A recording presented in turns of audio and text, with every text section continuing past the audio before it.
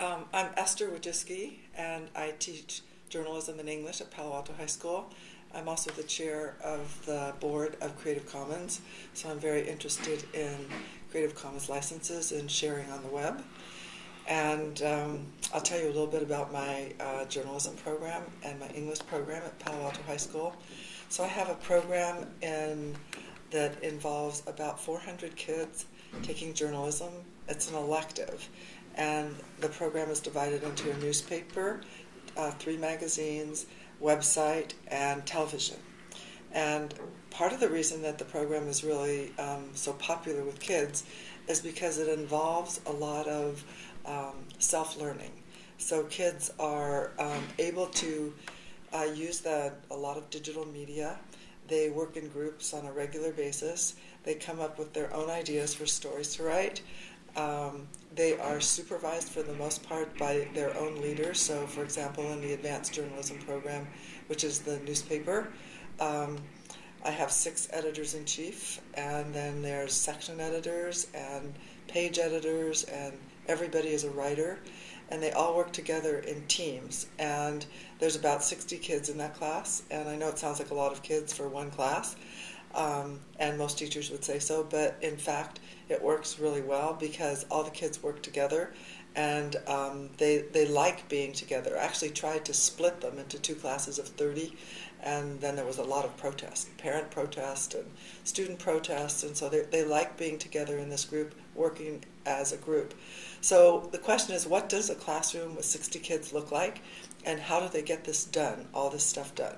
So there is a lot of talk and a lot of discussion, and they're not all sitting in rows wave, uh, raising their hands. They're not all just waiting for me, the oracle on the stage, to speak. They are all participants. Everybody is a participant in the class. And um, we have computer labs. They work on their stuff in the computer lab.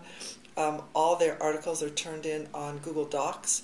So the advantage of that is that it's all collaborative. Not only that, the other advantage is that they can share really easily and they can access it from any computer anywhere in the world. So they go from home to school and they can access the same document in exactly the same place that they left off at home. So it makes it really easy for them to work on projects at school and at home and work with their peers. And then also you can see the editors like it because you can see exactly when people worked on the document. So all those excuses of I worked really hard and you know I just happened to lose it, that doesn't work anymore. Or the dog ate my paper doesn't work anymore because um, you can first of all it's always there online, never gets lost, and um, and then you can uh, you can see exactly when the student worked on it.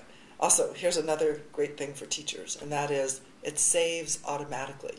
So I don't know if you remember the days, I remember the days well, about the computer lab. All of a sudden we'd have a power failure or something terrible would happen, and nobody had saved anything. It was on the desktop. And so they start up all over again, you'd lo- lose it all.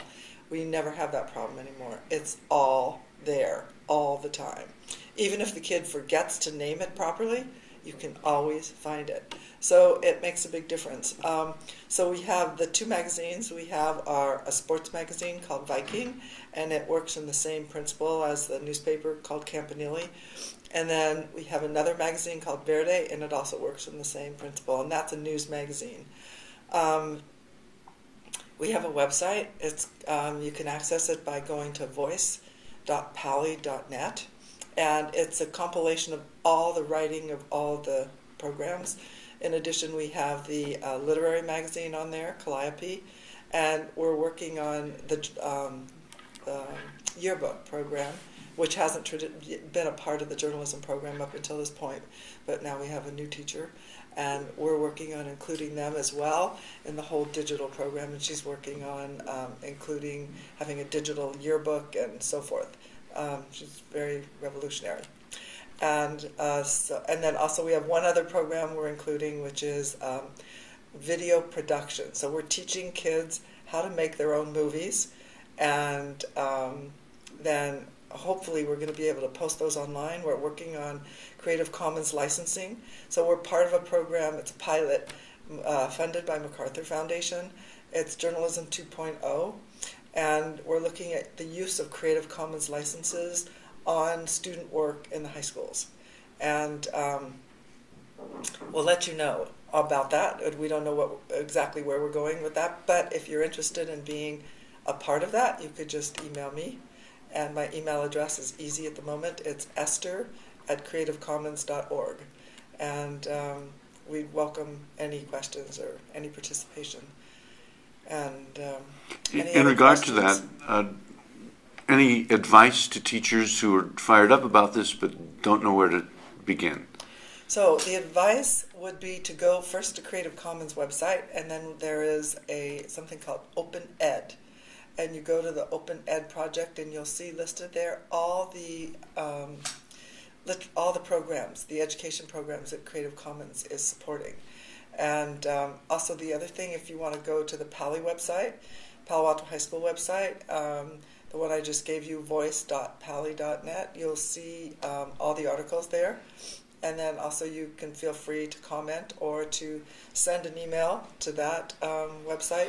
Or as I said, you can send me an email and I'd be happy to um, to share it with everybody. So there's two other, three other teachers involved: Paul Kandell and Ellen Austin and uh, Mike McNulty, and then also we have the um, yearbook teacher, um, Miss Wixom, and then the uh, teacher that's doing video production, Ron Williamson, and um, so we all of them would be very happy to to talk to anybody in the in the country who is interested in, in participating. So one of the great advantages of the program is that it's it's really participatory. The kids do the work. And um, so, as a teacher of a class of 60, the question is like, God, how do you correct all those papers? Well, I don't. They all correct each other's stuff. And it works like a charm. Um, we have won the top of the nation. We won the gold and silver crowns from Columbia Scholastic Press. We won, uh, we're in the Hall of Fame, National Scholastic Press. Um, the Viking magazine, the one that is the sports magazine, it won the top three stories in the year from um, National Scholastic Press. So it shows that you can get really high quality work out of students, and you, the teacher, don't have to correct every single thing. They can work as teams and correct each other's stuff. They learn more from each other than they're ever going to really learn from me. I actually provide the platform. I'm a facilitator. That's what I am. I'm an enabler. I enable them to succeed and do these wonderful projects that they do. So there's a good concrete definition of what Mimi Ito calls peer-based learning. That's instead of performing just for the teacher, they are assessing each other. Absolutely. Mimi Ito is absolutely right. So this learning, it's interesting. The learning um, doesn't just happen in the classroom. It continues after school. It continues all the time. So we also have a Facebook group my students are all in a Facebook group. They interact on Facebook all the time. We have a Google group. They interact. They send messages on Google group. So we we actually I sent them a message this morning while I was in this conference because I wanted to make sure that they were all doing what they needed to do, and if they had any questions, all they had to do was email me. So they're all connected digitally with each other and with me and with the program. And um, and also they pay attention to what's going on in the world as a result. So they're always online. They read the New York Times online. They read all these uh, publications online because they're interested to see what's going on in the world and you know what other ideas. What can I comment in? How can I be you know how can I make my voice heard as well? So um, it's a very it's it's an effective program. As you can see, there's 400 kids who out of a school of about 1,800 have elected to take journalism. Um, as a, and that means the byproduct is learning how to write really well. So if you just had a program where um, you said to the kids, "Oh, you want to learn, you want to study for the SAT, and you want to learn all the writing skills like punctuation and grammar and all that stuff," who do you think would sign up for that? But nobody. So, but they're signing up for this, and the byproduct is that they learn all these skills while they're doing it because they're they're interested. You know, all of a sudden, all these skills become relevant. And actually, I have grammar books around the room, and I don't ever have to say use them; they're just used. Um, it works.